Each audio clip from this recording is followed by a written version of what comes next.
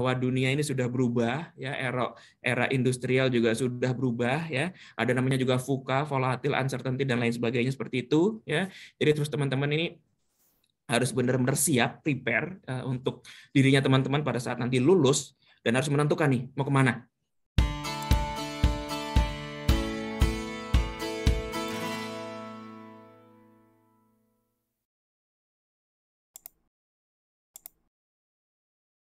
speaker yang kedua ada Kak Tony Agus Purnomo, Eskom, CPHRM atau HR Learning Development Manager di PT Sinarma Sekuritas. Kak Tony gimana Kak kabarnya? Sehat-sehat?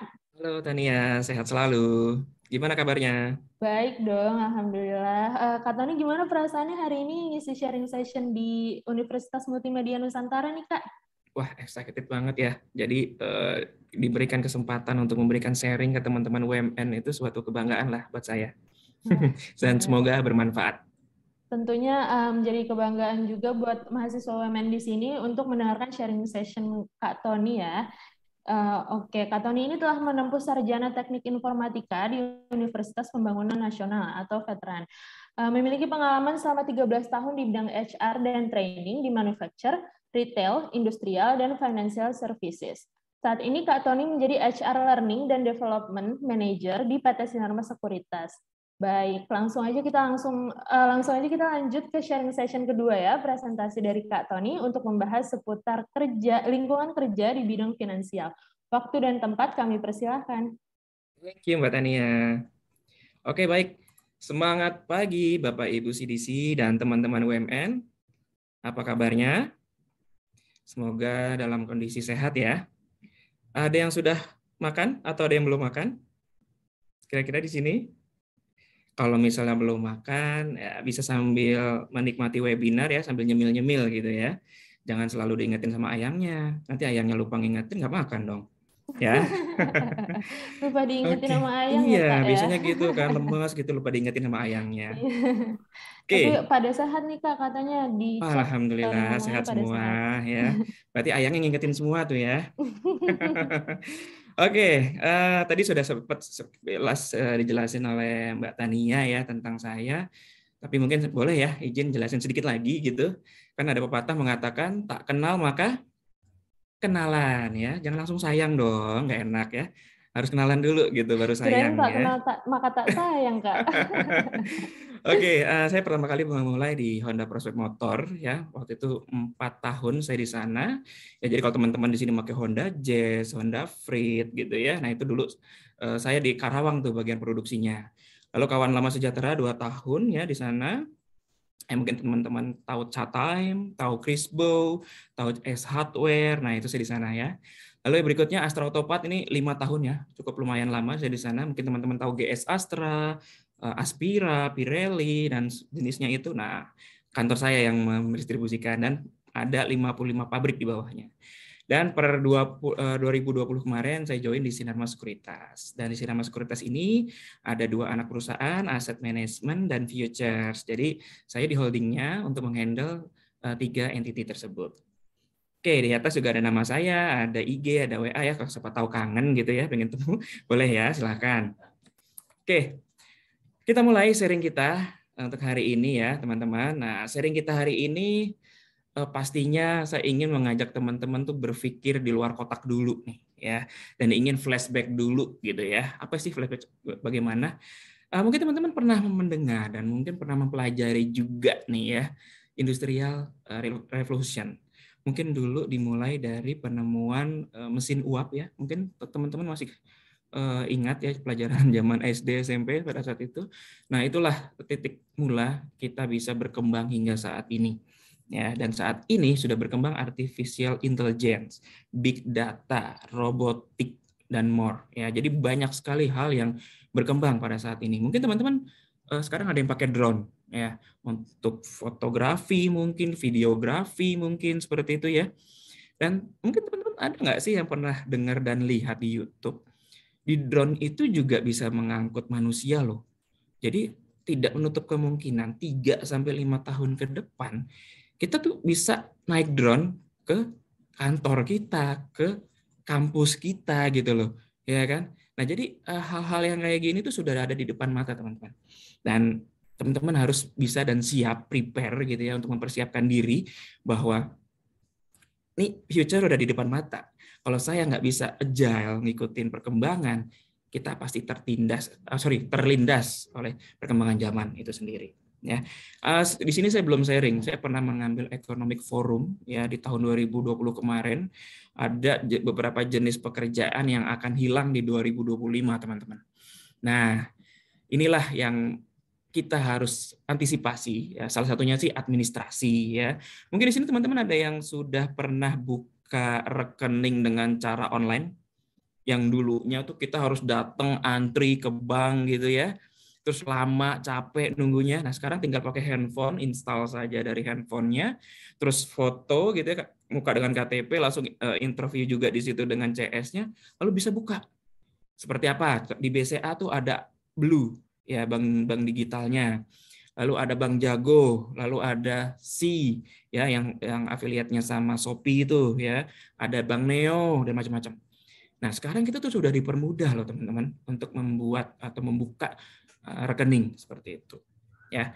Nah, ini gambaran yang lebih detail lagi ya supaya mungkin teman-teman dapat gambaran. Dulu tuh waktu zaman mungkin buyut kita ingin menikmati kopi ya, agak sulit ya. Mungkin kita harus beli kopinya, numbuk dulu gitu sampai halus, baru diseduh, baru kita bisa minum. Jadi banyak effort yang kita lakukan di situ, ya kan? Nah tadi berkembangan dengan uh, industrial udah dipermudah nih dengan adanya kopi sasetan gitu kan ya. Yang penting kita bisa ngopi gitu ya. Kita bisa beli satu renceng atau satu lusin atau bisa beli satu saja gitu untuk kita nikmati. Nah, ternyata ada juga warung-warung kopi yang bisa menyediakan langsung bisa dihidangkan. Ya, warkop ya namanya ya. Jadi kalau teman-teman, ah saya capek nih numpuk, ah saya capek nih beli sasetan, saya ingin langsung minum aja nih ke warung kopi saja. Mungkin dengan harga 5.000 sampai 10.000 kita bisa menikmati secangkir kopi. Nah, berikutnya yang paling kanan itu apa? Starbucks. Di sini ada nggak sih yang nggak kenal Starbucks? Ada nggak sih yang nggak kenal kopi tiam gitu? Pasti kenal semua kan? Apa sih bedanya Starbucks ini dengan yang paling pertama itu, yang biji kopi? Nggak ada bedanya, semuanya sama-sama kopi. Tapi di sini yang dijual itu bukan hanya kopinya, teman-teman. Ya, experience-nya. Jadi waktu kita ingin menikmati kopi zaman dulu, ya sekedar kopi gitu. Tapi waktu kita ke Starbucks itu bukan hanya menikmati kopinya, apa? Tempat tidur eh tempat tidur sorry ya. Tempat duduknya ya kan? Aroma kopinya yang apa ya bikin kita nyaman gitu ya. Cozy banget tempatnya. AC gitu loh. Terus kita bisa menikmati cemilan kita buka laptop kita konekin ke wifi kita bisa kerja di sana. Jadi yang dijual di sini sudah experience-nya bukan lagi kopinya ya sekarang sudah berubah nih. Jadi supaya teman-teman juga kebuka nih bahwa kalau kita nanti mungkin teman-teman di sini ada yang mau buka usaha atau mungkin mau merintis bikin startup seperti itu. Nah, yang dijual experience-nya teman-teman. Bukan lagi fokus eh gue mau buka kopi nih. Nah, sorry ya. Kalau kita lihat 2 3 tahun ke belakang ini ya, banyak loh yang latah uh, pingin buka coffee shop gitu ya dengan judul-judul yang nyeleneh-nyeleneh kopi lain hati, janji jiwa gitu ya, kopi galau, kopi kiran kamu, tuku, arah, macam-macam.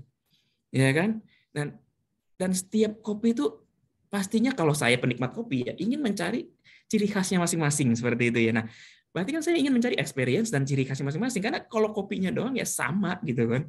Nah, kalau bagi bagi teman-teman yang ingin membuka startup atau apa pun itu ya, please cari apa sih yang bisa saya sajikan untuk customer saya. Seperti itu ya.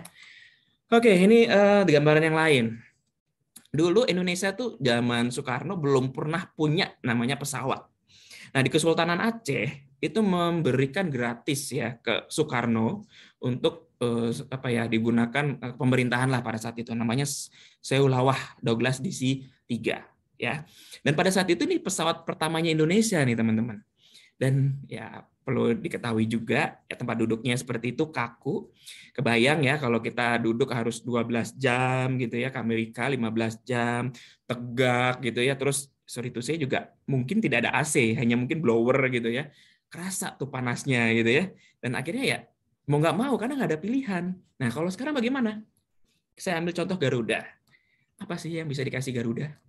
Nah Dari gambar ini teman-teman bisa tahu dong ya, bukan hanya saya pengen pergi ke Singapura, saya ingin pergi ke Bali, bukan hanya itu, ya, tapi juga diberikan kenyamanannya. Apa sih yang bisa diberikan selama saya terbang di atas? Oh ada multimedianya, oh saya bisa nonton, oh bisa, uh, apa namanya kursinya bisa direbahin, oh saya bisa uh, connect to wifi gitu kan dan macam-macam. Experience ini yang dijual. Nah dari situ kan orang mikir, ah saya nyari kenyamanan. Jadi sudah tidak berpikir uang lagi. Ya, karena yang sudah difokus adalah kenyamanannya.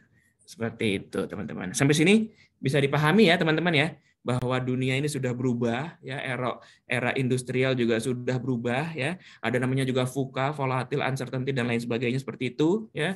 Jadi terus teman-teman ini harus benar-benar siap, prepare uh, untuk dirinya teman-teman pada saat nanti lulus dan harus menentukan nih mau ke mana seperti itu ya. Jangan sampai bingung. Waduh, saya udah lulus, saya mau ke mana ya? Mau bikin startup, apply kerjaan, atau duduk di rumah aja ya, habisin uangnya orang tua gitu ya. Semoga sih enggak ya. Dan harapannya kita sih semoga teman-teman juga punya pemikiran ke depan yang lebih baik seperti itu. Oke, nah ini saya kasih gambaran mengenai fenomena gunung es. Ya, tadi kan saya sudah kasih gambaran mengenai perubahan zaman, teknologi, ya, experience yang diinginkan oleh nasabah atau customer kita. Nah, sekarang kita masuk ke diri kita nih, teman-teman. Ya, saya ingin melihat dan meng, apa sih bahasanya ya, eh, mengubah cara berpikirnya teman-teman. Nah, kalau eh, dilihat dari gambar ini, kalau kita melihat permukaannya saja, gunung es ini kecil sekali ya, teman-teman. Tapi waktu kita lihat dalamnya, kok besar sekali ya. Bisa dua tiga kali lipat loh dari permukaan. Nah, apa sih yang ingin saya gambarkan di sini? Apa sih yang ingin saya sampaikan di sini? Ini dia. Manusia pada umumnya hanya menyadari sekitar 10% tentang dirinya sendiri dan 90% lainnya tersimpan di tidak kesadarannya. Ayo coba. Coba pikirin.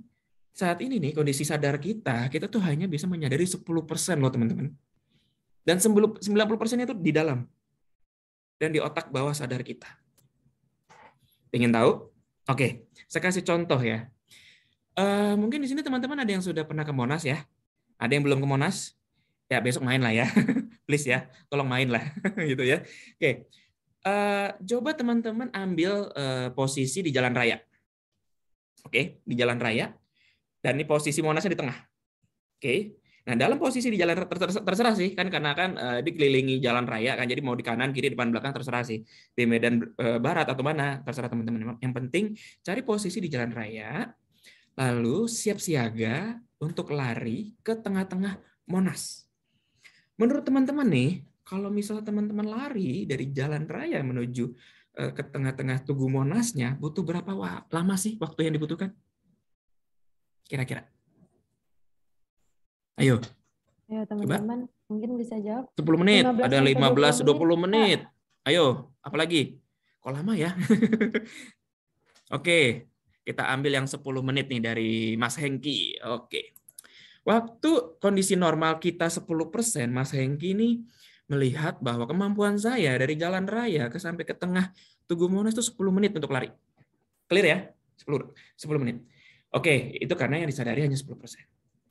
Lalu bagaimana untuk mengetahui bahwa kita punya 10% kemampuan? Nah, saya kasih dua anjing herder di mana dua anjing herder ini belum saya kasih makan dua hari. Oke, dan saya iketin nih di pinggangnya Mas Hengki tadi tuh dua sosis besar, ya dua sosis besar diiketin di pinggangnya Mas Hengki. Nah, Mas Hengki ambil posisi yang sama di jalan raya. Oke, anjing herdernya saya kasih jarak deh 3 meter di belakang gitu ya. Nah, waktu pistol nih kebiasaan nih kalau kita mau lomba kan der gitu kan. Pas pistol diletuskan, der lari sekencang-kencangnya. Kira-kira yakin nggak lebih lama atau lebih cepat dari 10 menit yang tadi? Ayo. Nah, ada yang bilang dua menit, menit tuh, Mas jawab langsung dua menit. Oke, lebih cepat Pak. Loh kenapa? Sekarang saya tanya balik nih. Kenapa tadi kok dalam kondisi sadar dilakukan 10 menit, Waktu saya kasih anjing dua, dua ekor yang belum makan, ya, tuh tiba-tiba jadi dua menit. Itu gapnya 8 menit loh teman-teman. Kenapa? Ayo, silakan. Adrenalinnya, wow, luar biasa. Karena kepepet. Karena kepepet. Oke, gitu. apalagi dipaksa, Dipaksa keadaan, keadaan, cakep. Apalagi Cukup. Oke, benar semua. Ya. Karena kita fokusnya sama ini kalau saya sebagai Mas Hengki, sorry jadi contoh Mas Hengki ya. kalau saya sebagai Mas Hengki, kalau kondisi normal saya 10% ah tinggal lari aja toh nggak ada sesuatu yang saya kejar gitu kan. Ah 10 menit cukup gitu kan.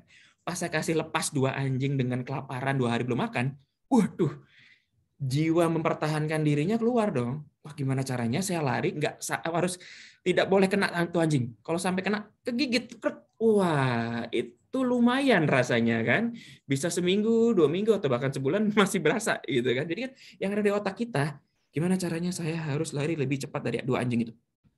Berarti 90% kemampuan kita baru keluar loh di situ. Nah ini baru satu contoh loh ya. Contoh yang lain banyak. Berarti apa? Harus kita kondisiin dalam kondisi di mana kita harus kepepet. Gitu loh teman-teman. Supaya kita bisa mengeluarkan potensi diri kita. Dulu waktu saya, ini, ini agak curhat dikit ya. Dulu saya pernah ditolak loh judul skripsinya. Jadi satu minggu sebelum prasidang saya ditolak sama kepala jurusan saya. Kesel, keselnya bukan main, ya kan? Terus dikasih waktu cuma satu minggu untuk cari judul baru. Saya saya nggak mau pakai judul baru tapi mengejas dari judul yang saya. Kan dulu saya teknik informatika saya bikin kriptografi ya eh, apa namanya pakai sistem enkripsi dan dekripsi gitu ya di mana saya bisa mengenkripsi file eh sorry mengenkripsi kata-kata sebelum dikirim dan nanti bisa didekripsi lagi. Kepala jurusan saya nggak mau. Pokoknya gimana caranya file juga harus bisa dienkripsi dan waktu saya satu minggu dan saya mengeluarkan potensi saya 90% lainnya satu minggu hampir bisa dikatakan tidur tuh sehari cuma 2-3 jam. Tidur jam 1, jam 2, nanti jam 4, jam 5 udah bangun lagi. Dan perlu diketahui ya teman-teman ya, tahun 2006, 2007, 2008 itu internet susah loh ya dan harus harus ke Starbucks loh dan modal 30 ribu loh untuk menikmati uh, wifi gitu ya dan akhirnya saya melakukan waktu itu di eh, di kampus saya ada wifi tapi bareng-bareng. Jadi kecepatan saya itu waktu pakai IDM ya Internet Download Manager mungkin teman-teman tahu di sini ya. Itu cuma 100 kbps KB loh bukan MB ya kbps gimana caranya saya bisa mendownload uh, artikel atau file yang saya butuhkan kalau kecepatan saya cuma 10 sampai 100 kbps akhirnya apa yang saya lakukan? Nunggu semuanya pulang nunggu semuanya sepi baru saya bisa download kencang. Kapan? Jam 9 malam jadi saya pulang dari kampus jam 12 malam itu jadi semuanya bisa saya lakukan dalam satu minggu dan bisa mengadjust untuk enkripsi dan dekripsi dalam satu minggu. Nah ini ini ini yang yang pernah saya rasakan ya di mana saya mengeluarkan potensi saya dan akhirnya saya bisa. Dan teman-teman pun pasti bisa. Ya, ya tadi ya saya gambaran tadi yang industrial experience. Kalau teman-teman ingin survive, ingin agile, yuk keluarkan potensi diri. Ya. Nah, ini penjelasan berikutnya. Kesadaran akan diri berbanding lurus dengan penggunaan potensi yang dimiliki. 10% kesadaran diri kita sama dengan 10% aktualisasi diri kita ya. Jadi pastikan kesadaran diri kita ini 100% itulah yang kita keluarkan. Tapi kalau kita cuma menyadari ah gini-gini aja udah cukup, ah begini aja udah enak. Nah, nggak akan keluar tuh potensinya. Ya. Oke, semoga teman-teman paham. Nanti kalau pingin pingin nanya silakan langsung di Q&A ya. Oke, choose positive living. Maksudnya apa nih? Nah, dari think, feel, act, teman-teman. Kira-kira kita kalau ingin berbuat sesuatu, some apa ya uh, do something gitu kita fokus ke mana dulu nih thingnya feelnya atau act-nya ya ayo ayo gimana teman-teman kira-kira okay. kalau misalnya bingung belum ada jawaban nggak apa-apa okay. kita langsung cover aja nih mbak Tania. Oke okay, kita mulai dari katanya nih. Nah oh oke okay. ada ting dari siapa nih. Mau Mas Hengki lagi luar biasa Mas Hengki ya. Ya benar. Jadi kita think dulu feel baru act. Pernah nggak sih teman-teman ya thingnya logikanya tuh oke okay, tapi hatinya tuh kayaknya ragu gitu. Pernah nggak sih? Dan terus maksa ah jalanin aja deh. Dan akhirnya hasilnya nggak sesuai dengan ekspektasi. Ini maksud saya jadi waktu kita ingin melakukan sesuatu pastikan itu satu frekuensi antara otak dan emosi kita karena waktu kita ingin menjalani itu nanti akan bisa all out hasilnya ya benar-benar bagus tapi kalau kita logikanya udah oke okay, tapi hatinya masih ragu mending Jangan. Ya, ini yang harus dipastikan. Karena kalau ini dipaksakan, biasanya di ending ya hasilnya tidak sesuai dengan harapan kita lah seperti itu. Dan pastikan kita selalu berpikir positif ya, teman-teman. Oke, kita cepat saja. Nah, ini ada survei dari internet ya. Total populasi eh, penduduk Indonesia kan ada 274 juta, ya anggaplah 275 juta ya teman-teman. Nah, di sini ada mobile connection 345 juta. Mungkin ada teman-teman di sini bingung kok jumlah populasinya 275 juta eh, apa namanya connecting mobile-nya kok 345 ya. Kok nggak matching gitu ya. Nah, nanti dulu nih. Ada nggak di sini yang punya dua device? Dua handphone, yang satu iPhone, yang satu Android mungkin. Atau ada yang punya IG, double IG, yang satu IG resminya dia, yang ori official, yang satu IG buat-buatan untuk nge-stalking mantan gitu ada? Mungkin ada, ada kali ya. Katanya satu buat promote katanya. Uh, buat promote ya kan. Nah, berarti satu orang kalau punya dua nomor, ya dua device handphone, lalu punya dua akun, itu semuanya kan terkoneksi. Satu orang itu bisa mewakili lima atau bahkan 10 mobile connection. Jadi kenapa bisa mencapai 345 juta, teman-teman?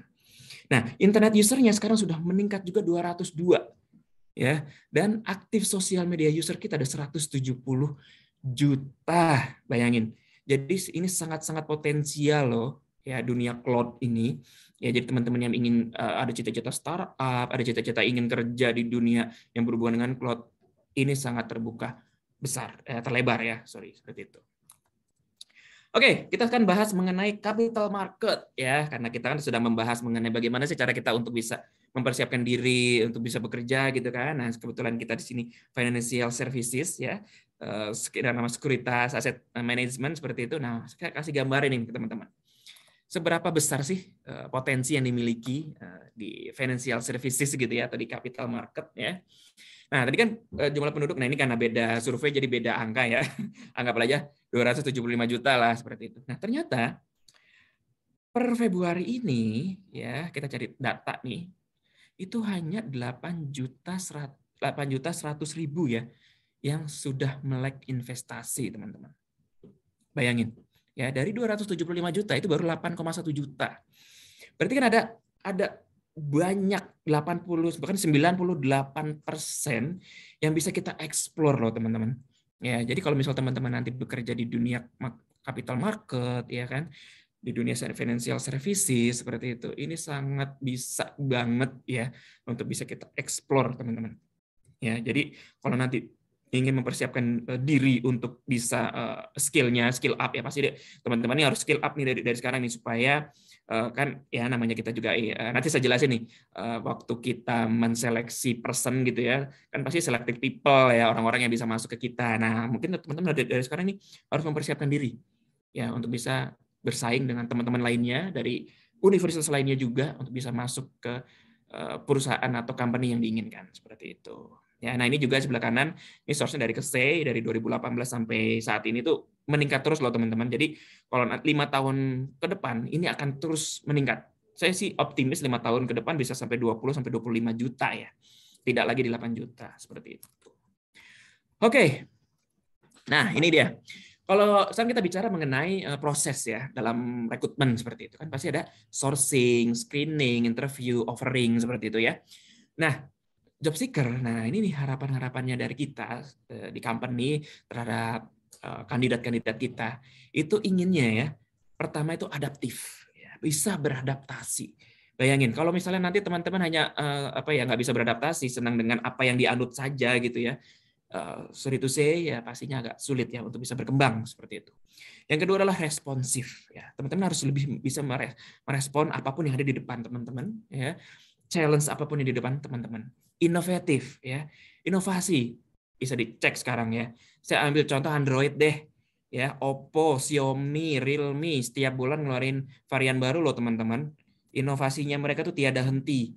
Ya, nah berarti teman-teman juga harus berpikir ala mereka yang sudah sukses. Ya.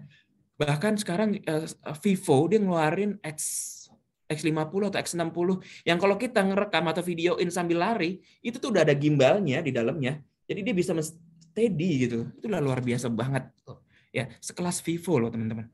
Nah, ini kan makin berkembang, nah berarti kita butuh orang-orang yang inovatif juga seperti itu. Lalu terakhir adalah pastinya kreatif. Ya, kita butuh uh, orang-orang yang punya pemikiran kreatif, apa namanya, hal-hal yang bisa dibuat uh, hal yang belum pernah ada ya, yang bisa kita jalankan di company kita seperti itu. Oke, nah dulu ya kan dulu tuh tahun 90-an, 2000 gitu ya, itu kita masih masang di koran loh teman-teman ya iklan nih lowongan pekerjaan, terus kita pakai PO PO box gitu ya untuk ngirim apa pakai amplop. Nah, sorry sekarang sudah tidak lagi seperti itu. Mungkin teman-teman tahu Job Street, Jobs DB gitu ya. Nah, ini yang saya kasih contoh Glassdoor, LinkedIn, Facebook, Indeed, Career Builder. Nah, ini salah satu job portal yang bisa teman-teman kunjungi ya yang bisa teman-teman coba explore gitu ya untuk mencari uh, apa namanya pekerjaan yang diinginkan oleh teman-teman seperti itu ya. Dan di sini ada AI, Swayam. Ini salah satu aplikasi yang dipakai grup kita, uh, Sinar Mas ya, di mana waktu kita, contoh nih, saya sebagai recruiter gitu ya, eh saya ingin tahu nih, uh, dari semua ribuan orang ini yang mendaftar, saya ingin tahu yang accounting yang apply di kita berapa banyak ya. Nah itu AI-nya Zayam ini bisa meng, apa ya, mengklasifikasi, mencari tahu sesuai dengan apa yang kita inginkan. Nah, ini kekuatan dari sebuah AI ya. Apply the job ya seperti itu. Lalu ada Eh, nanti kalau misalnya oke okay, teman-teman ada interview untuk kita schedulekan interview lah ketemu dengan usernya HRD-nya baru ada direksinya seperti itu dan semuanya by online ya semenjak pandemi kemarin kita memang dituntut untuk semuanya serba online dan bisa cek di kolom chat ya teman-teman untuk karir opportunity kita yang ada di kantor kita nanti eh, ada di kolom chat bisa dicek di sana ada linknya di sana ya ada sosial media kita di sana. Jangan lupa ya di follow baik itu apa Instagram kita, LinkedIn kita seperti itu ya. Oke, nah ini salah satu survei lagi. Uh, jurusan kuliah para founder unicorn di dunia itu uh, jurusannya apa sih? Gitu ya. Masih banyak yang kepo ya. Kita mulai dari paling kanan deh nih. Ada Joe Geba nih dari Airbnb. Dia dari seni visual. Ya cuman 15 orang lah kira-kira di seluruh dunia yang di seni visual untuk Eh, apa namanya founder eh, unicorn di dunia ini. Lalu ada fisika nih cuman 46 ternyata. Ini ada contohnya Donna Labinski ya, handspring. Lalu ada Min Liang Tan, Razer ya, itu hukum. Dan 46 juga nih hampir sama seperti fisika. Lalu ada Anthony Tan, ya, Grab. Ini ada 115 nih di jurusannya dia ekonomi. Nah, yang paling tertinggi 347 orang, yaitu contohnya William Tanuwijaya, Tokopedia, yaitu ilmu komputer.